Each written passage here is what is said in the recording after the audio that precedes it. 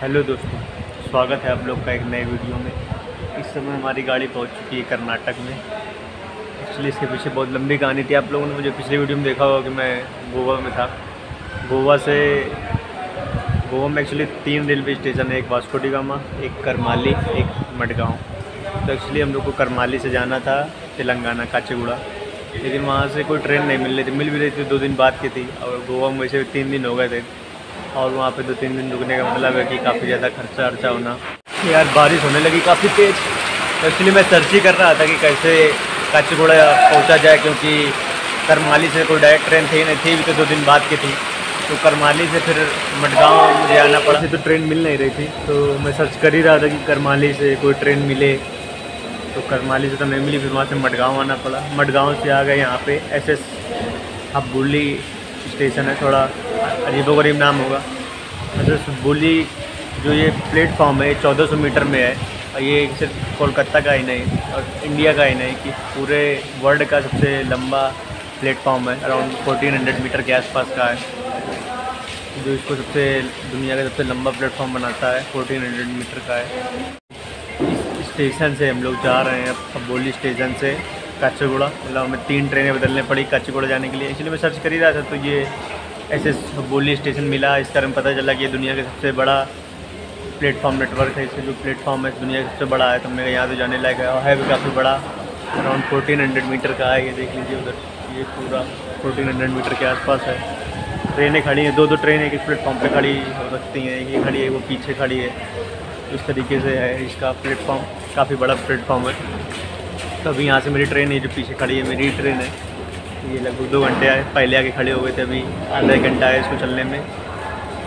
तो तीन ट्रेनें बदलनी पड़ी, तीनों की मैं डिटेल दे देता हूँ। पहले तो गोवा में जो करमाली स्टेशन है, वहाँ से मैं मडगांव गया तो उसके लिए मैंने मंडोवी एक्सप्रेस ली, जो मुझे तीस रुपये की पड़ी। थोड़ी सी महँगी थी, क्योंकि गोवा में आप आएँगे या गोवा के आसपास तो आपको ट्रेनें थोड़ी सी महँगी पड़ सकती हैं।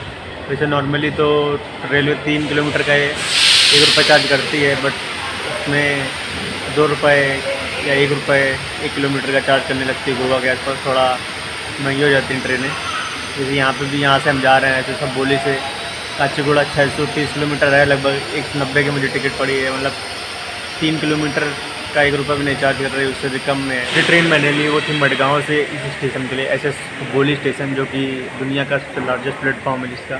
तो ये around one seventy four kilometre का इसका डिस्टेंस था, और इसकी टिकट मुझे पड़ी अराउंड एट्टी रुपीज़ के आसपास मतलब वही गोवा से अगर कोई ट्रेन जा रही है, गोवा से कोई ट्रेन किसी और स्टेशन जा रही है तो उसका रेलवे थोड़ा ज़्यादा चार्ज करती है। तो लगभग दो किलोमीटर का एक रुपये रेलवे ने मुझे चार्ज किया। और अभी जो मैं जा रहा हूँ, ऐसे सब बोली से काचीगुड़ा रेलवे, काचीगुड़ा स्टेशन तेलंगाना, इसके डिस्टेंस जैसे मैंने बताया सिक्स हंड्रेड थर्टी किलोमीटर के आसपास है।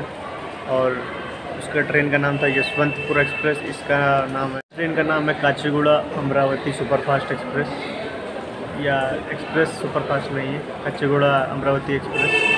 तो ये अराउंड मुझे साढ़े तीन किलोमीटर का एक रुपये चार्ज कर रही रेलवे। तो ये काफ़ी हद तक सही है।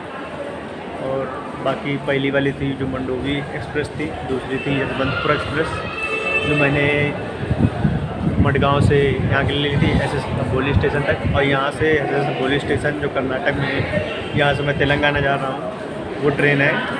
काचीगुड़ा, अमरावती एक्सप्रेस। तो ये तीन ट्रेनें मैंने ली हैं। पहले मुझे तीस रुपये की पड़ी थी, फिर अस्सी रुपये ये मुझे पड़ी है एक सौ अस्सी रुपये की।